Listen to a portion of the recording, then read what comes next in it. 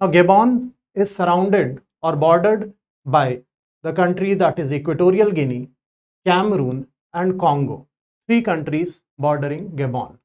On the west side, that is the part that you can see over here, this is called as Bight of Biafra. So Bight of Biafra.